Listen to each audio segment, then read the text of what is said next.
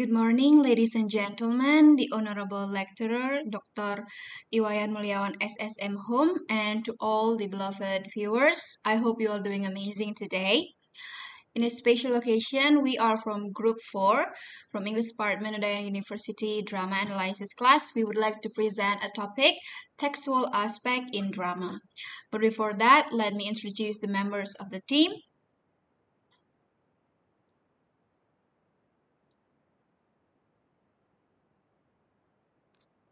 So the members of our group, uh, the first one, Ni Putu Dian Angga Melani, student number two, Ni Putu Liana Widya Santhi, student number seven, Anak Agung Anitya Dewi, student number 10, Nikade Ayu Kristia Dewi, student number 15, and lastly, Nilo Dharma Widyaningsih, student number 27.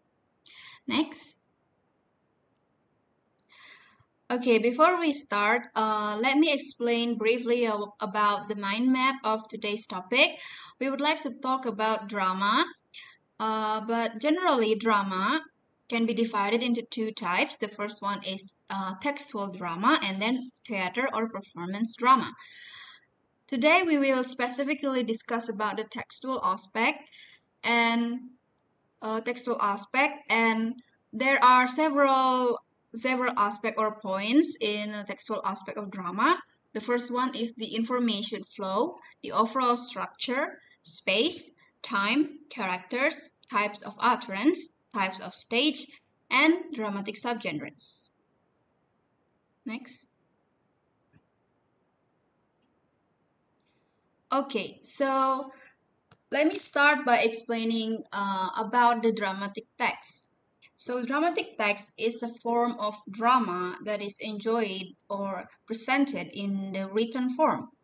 The drama can also be transformed into different types of presentation, which, which is theater.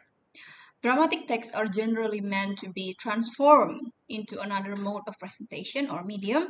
It can be uh, a theater.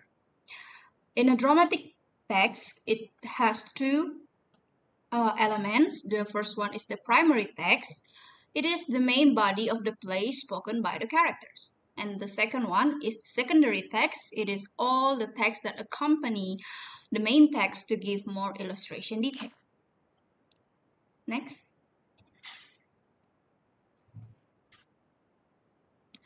Okay, now let me uh, let me explain about the difference between text and theater. So text play, uh, for the text play readers, they tend to make more cognitive effort to imagine all scenes, including how the characters look like, how they act and react, how they speak, along with the setting of all of the scenes. So for the text play readers, you, we must uh, put more effort to understand the storyline. And for the readers of the text play, uh, sometimes they help by the secondary text to portray the story, but it is not always well written. So it and it is not always mandatory to have secondary text in a text play. For theater, it is more likely to be the interpretation of the director, actors, costume makers, makeup artists, and all of the production staff who bring the play to the life. So uh, it is the perspective from the director and then put in uh, actors and it involves much more elements to give a soul to the story.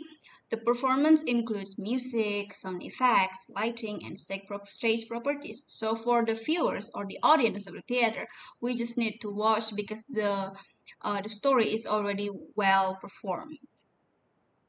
Next. So the main features of analyzing a drama.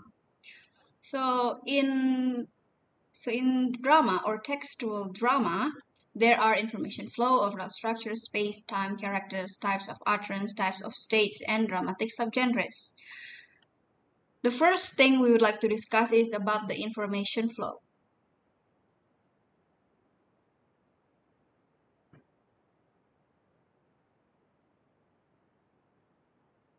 Okay, about information flow. So information flow from a drama, it is it deals with the existence of the narrator and how storyline delivered by the performance. It is different from epic theater. Drama usually does not have a narrator. Therefore, the audience has to gain information directly from what can be seen and heard on stage. Information can be conveyed both linguistically from the character's speech and non-linguistically from properties, costumes, etc. So for drama, uh, it is totally uh, information gained from the performance on stage and there's no narrator to interpret or help the storyline. That's all from my from my part, the next point will be presented by my friend Ayu Kristya. Time is yours.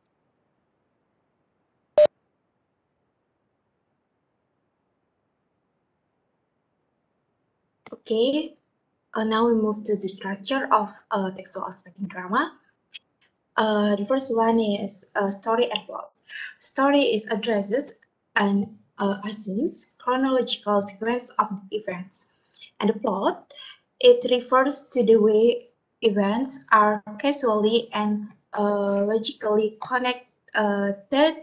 Plots can have various plot lines, different elaboration of parts of the story, which are com combined uh, to form the entire plot. And there are uh, three unities. In structure, uh, textual aspect of drama, the classical unit unities or three unities in drama are First, the first one is the unity of actions. It means a play should have one main action that it flows with no or few subplots. And the second, there is uh, the unity of place. It means a place should cover a single physical space and should not attempt to compress geography nor should the stage represent more than one place. And last is the unity of time. Its mean action in a place should take place uh, over no more uh, than 24 hours. Next, we move to free text pyramid. Uh, a model frequent used to describe the overall key, key stage of a story, offering a conceptual framework uh, for writing a story from start to finish. Uh, this stage are the first one, introduction, and then second, complicating action, the third, climax, and fourth is falling action, and the last is catastrophe, which is mean the resolution. We move to space in textual aspects. Space is an important element in drama since the stage itself also represents a space where action is presented. The analysis uh, of place uh, and setting in place it in place can help one get a better feel for characters and their behavior, but also for the overall atmosphere. There are two a space in textual aspects. It is about uh, illusion of realisms. It's mean the scenes presented uh, on the stage is meant to be as true uh, to life as possible, and the audience is expected to succumb to that illusion. And then there are naturalists, which was premised on the idea that a person's character and behavior are largely uh, determined by his or her social aspects. We move to symbolic aspects, space. Another important factor to consider in symbolic space is the interrelatedness of setting and plot. The setting can thus support the expression of the world view current at a certain time or generally philosophical, ethical, or moral question one can say that rather than only functioning as a background or creating a certain atmosphere, the space becomes symbolic space as they point towards other levels of meaning in the text. The next presentation will be presented by Tia, Tia Tansius.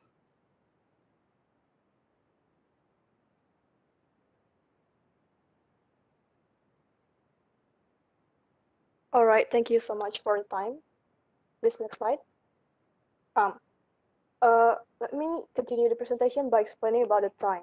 Time is the word that describes the fictional time or setting in a dramatic performance or the timing of one moment to the next in the drama.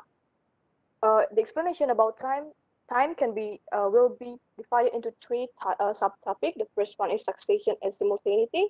The second is the presentation of temporal frames. The last one is uh, story time and discourse time. Next slide, please.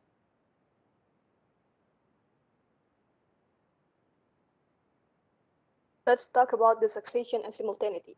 Event and actions can occur in one of two ways, which are successively or simultaneously. Successively means uh, the action occur one after another and uh, simultaneously means uh, the action occur all at once.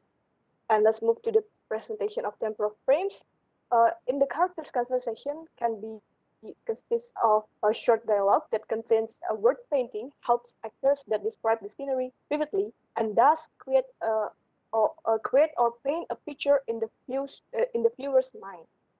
Next slide, please. Now uh, let's discuss about the story time and discourse time.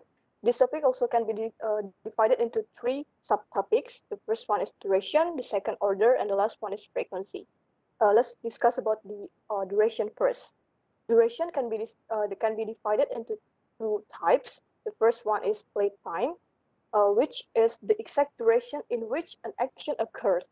For example, is the play time or the time of the story in uh, Osborne's look back in anger encompasses several months. But in playing time, which is the duration uh, of an action is performed on the stage uh, in the uh, movie Osborne's look, look, back in anger, uh, the playing time is approximately two hours. And the next is the order. Order refers to how events are sequenced temporally and how they correlate to the temporal order or, or of events and action in the plot. Order uh, can be divided into two as well. The first one is flashback, which uh, means events from the past are mingled, mingled with the presentation of current events. And second is flash verge, which, mean, which means future events are anticipated. And last one is frequency. Frequency can be divided into three as well. First one is singulative. When scenes in a play have single actions that are only shown once, this mode is most common in linear plots where the primary goal is to depict uh, the progression of conflict. This is the mode that most traditional plays use. Second is repetitive when characters refers to the same uh, or similar events that have already occurred. And the last one is iterative, which means an event takes place several times but is uh, but is referred uh, to in the next uh, the next text only once. Uh, next slide, please. Then we move to the characters. The characters, the explanation about characters will be divided into several subtopics. Uh, the first one is major and uh, minor characters. Next slide, please.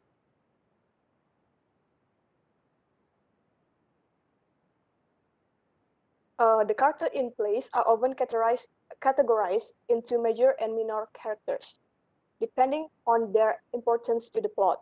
Major characters uh, usually have a plot to say and appear frequently during the play, uh, while uh, minor characters have a smaller role or just appear briefly.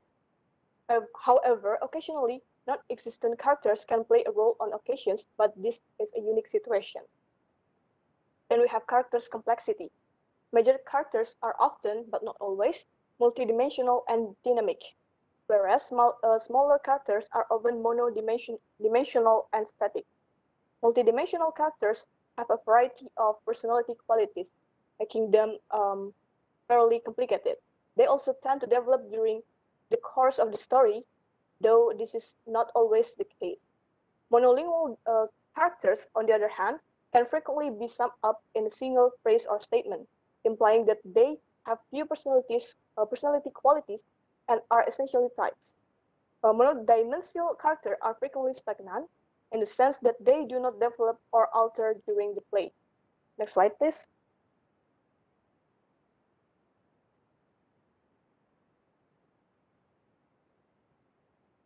characters and genre convention. Since genres uh, uh, generally follow particular norms, even when it comes to the dramatis personae or theatrical uh, personnel, The quality of characters can sometimes be influenced by the subgenres to which a play belongs. And then the contrast and correspondence. Contrast in play can often be classified by way of contrast and correspondence. Individual attributes are brought into sharper perspective and specific qualities are highlighted in, in relation to the larger plot by presenting similar characters in such a, con a contrastive manner. Next slide, please. Now we have character constellation. Character constellation present a range of data-driven statistical model to study depictions of characters in terms of sympathies and antipathies among characters. Usually, can, uh, I'm, I'm sorry, I mean, usually one can make the distinction between heroes and their enemies or protagonists and antagonists, and one can find characters who collaborate and support one another. The next is character configuration.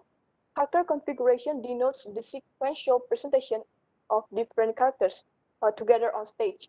Configuration does change uh, whenever characters exist, exist or enter the stage. Next slide, please. And the last discussion is about the technical of uh, characterization. Characters uh, in drama can be applied by using various techniques of characterization, but uh, mainly there are two ways of technique uh, that used in, uh, in determining a character, which are explicit and implicit. That's all about my explanation. The next explanation will be continued by Liana. Time is short.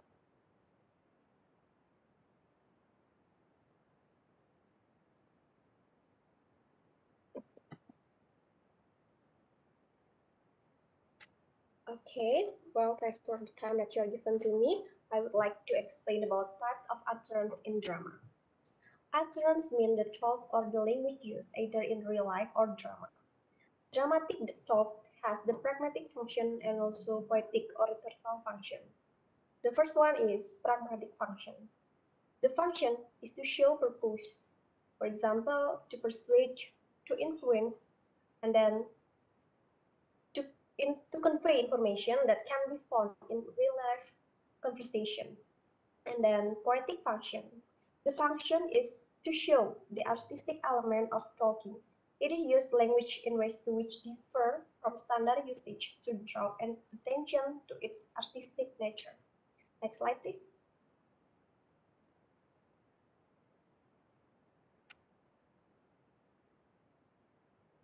Let's move, we move on to the monologue, dialogue, and also soliloquy. Monologue is the talk was done by only one person. Dialogue, the talk needs to be done by two or more people, and then soliloquy, the talk is done by only one person. However, he is truly alone because this talk is personal, which means he is speaking to himself. Next is asides. Another special form of speech in drama is so-called aside. Aside from any other types of utterance, aside is the only talk that combines monologue and soliloquy, but he speaks towards the audience, while the other don't.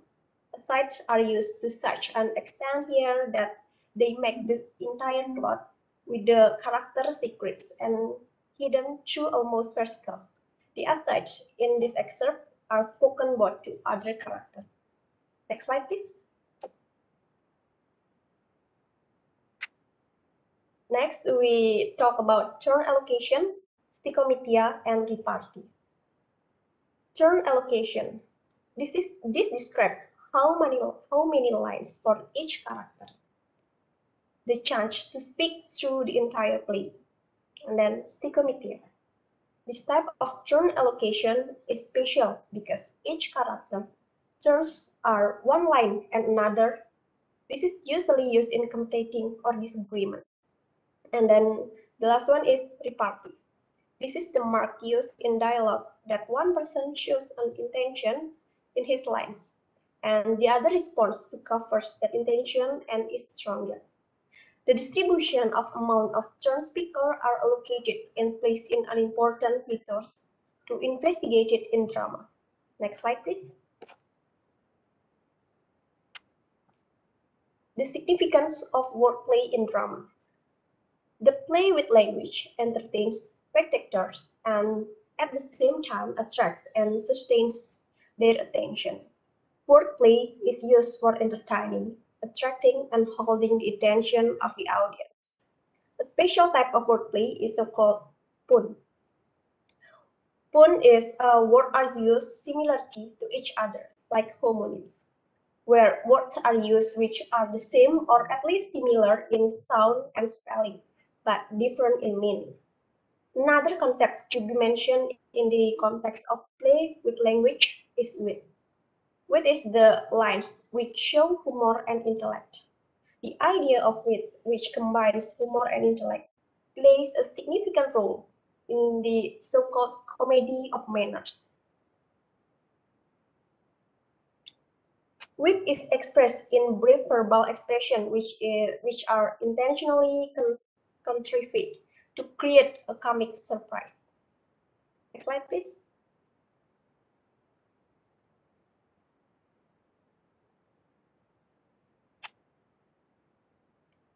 Let's we move on to the types of stage.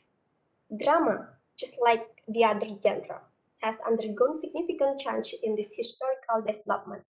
This is partly attributable to the fact that stage types have also changed and have thus required different forms of acting. Let us have a look at the various stage forms throughout history based on Pfister in 1997. The first type is Greek classicism. Plays in ancient Greece were staged in amphitheater, which were marked by a round stage about three quarters surrounded by the audience. Greek classicism could hold great masses of people, up to 25,000. The chorus was a vital part of ancient drama. The stage scenery was natural and was accompanied by the real landscape surrounding the amphitheater. Next type is the Middle Ages. Medieval plays of prime were primarily performed during religious festivals. They were staged on wagons, which stopped somewhere in the mar marketplace and were surrounded by the audience. The close vicinity between actors and audience must account for a way of acting which combines serious condition of the topic in question with stand-up comedy and funny or body scenes, depending on the taste of the audience. Next type is restoration period. Theater of the 17th and 18th century was considerably smaller than the Elizabeth Theater, and performance took place in closed room uh, with artificial lighting. In contrast to modern theater, where the audience is in the dark, the audience in the Restoration period was seated in a fully illuminated room. Next up is Rena Renaissance England. The Elizabeth stage was typically found in public theater. However, the Elizabeth theater was still on open-air theater as the lack of artificial lighting made daylight necessary for performance. The Elizabeth theater could hold up to 2,000 people and the audience was rather heterogeneous, consisting of people from different social backgrounds. And then the last type of the stage is modern times. The stage of the 19th and 20th century is called proscenium stage or picture frame stage uh, because it is shaped in such a way that the audience watch the play as it would regard a picture. The ramp clearly separates actor and the audience and the curtain underlines this division. Since the audience is thus uh, not disturbed from watching the play and can full concentrate um, on the action on stage, it becomes easier to create an illusion of real life in place. Furthermore, the scenery is now often elaborate and as true to life as possible. I think that's all for me. The next presentation will be continued by my friend. Dian, time is yours. Well, thank you for the time given to me. Now I'm Dian Angga, going to continue the presentation by explaining the last uh, our materials, namely dramatic subgenres. Based on Aristotle's poetic, there are two genres of drama, The first one is comedy. It is more focused at entertaining and making the audience laugh, and its main special feature is a happy ending. The types of the comedy is the first one is romantic comedy. The second one is satiric comedy, comedy of manner, farce, comedy of humor, melodrama, high comedy, and the last one is low comedy. The second type of uh, dramatic subgenres is tragedy. It shows a sad story and contains a serious action and conflict. Then the story usually ends in disaster, such as a character with a bad luck like death. The type of tragedy such as Senecan tragedy, revenge tragedy, domestic or bourgeois tragedy, and the last one is tragedy comedy. Move on to the next slide.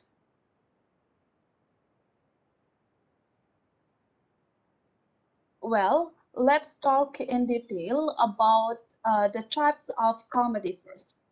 The first type is romantic comedy.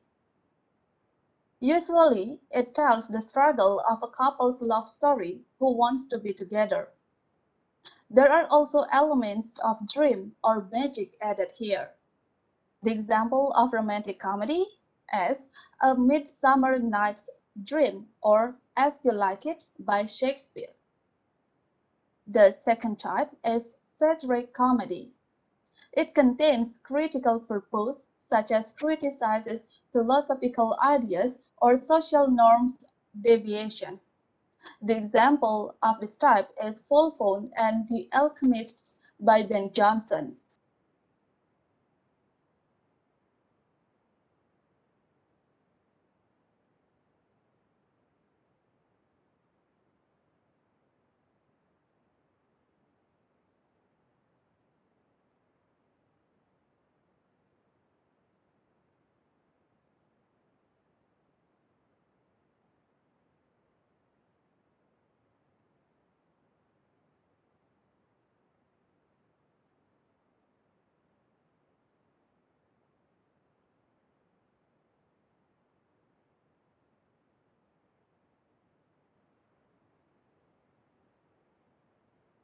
Well, uh, the third one is comedy of manner. Visually, it looks like a satirical, and generally the plot revolves about romance with witty language and cynicism. One of the authors is William Wycherley. The next type is farce. It presents a show that makes the audience explode with laughter and exaggerated character traits are the main characteristic of this type. The example is Shakespeare's The Taming of the Shrew. Next slide, please.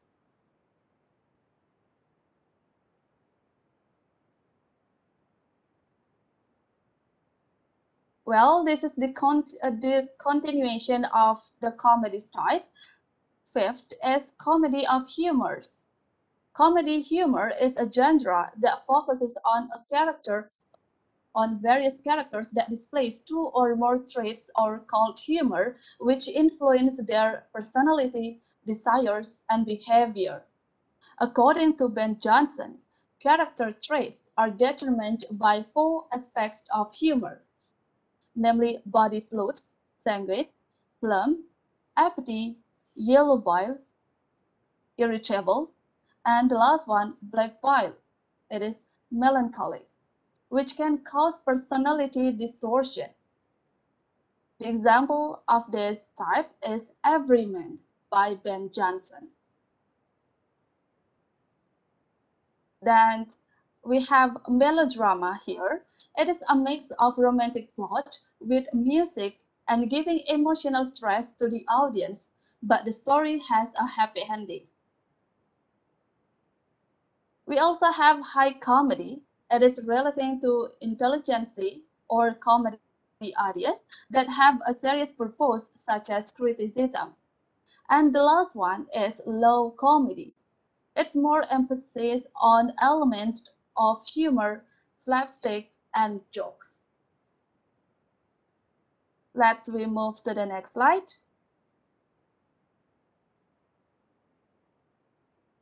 The next genre is tragedy. And let's talk about its type in further. The first one is Senecan tragedy. It is rooted in ancient Roman tales where the tragedy is writ, not staged. The characteristic or the story is divided into five segments, complex plot, and high dialogue style. The example of this type is Troilus and Cressida by Dryden. The second one is revenge tragedy or tragedy of blood. It is a drama with the theme of revenge and the fatal consequences of revenge. Made in the form of poetry, the main characters are high social people and they teach violence lessons to the audience. The third one is domestic or bourgeois tragedy. The characteristic of this type is that the main character is middle class with conflict and common character. In addition, the theme is suffering with the aim of evoking empathy, pity, and fear in the audience. Take George Lillo's The History of George Barnwell for the example of this type. And the last one is tragedy comedy. It is combination of tragedy and comedy genres, in which there is a composite of plot elements characters, and moral messages from both genres. Specifically, a serious conflict that usually ends in disaster suddenly becomes a happy ending. And the example of this type is The Changeling by Thomas Middleton. That's all from my material. I will give the time back to the moderator, Sri. Thank you. Okay, everyone, thank you so much for the amazing explanation. Lastly, uh, before we close this presentation, let us conclude what we have presented. So for this subject or this topic, it can be concluded that drama is not only a performance that can be enjoyed visually, but there's also a text play which is a story in written form which underlines the establishment of drama performances. information that implicit in drama can be obtained from, from the characters' dialogue aside from the narrator. Moreover, there are unified structures and elements constructing a drama, such as plot and space. Furthermore, there is time related to the, to the duration and the frequency of the same scene is shown. Characters are also another important supporting element. Characters that appear often called major, but some are rarely called minor. These characters in tagging the, the story absolutely through utterances that can be called monologue, dialogue, or soliloquy. Lastly, genre has an important influence in what drama will be presented, such as comedy or tragedy genre. All of these elements in perfecting a performance are equipped with five key sto story stages namely introduction, complicating action, climax, falling action, and catastrophe. Keep in mind that drama does not exist as it is now, which is rooted in the development of the times succeeding the social influences. Therefore, each stage has its own uniqueness and characteristics.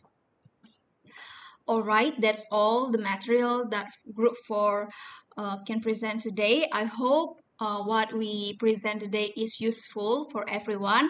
And thank you so much for watching. Have a nice day. Thank you.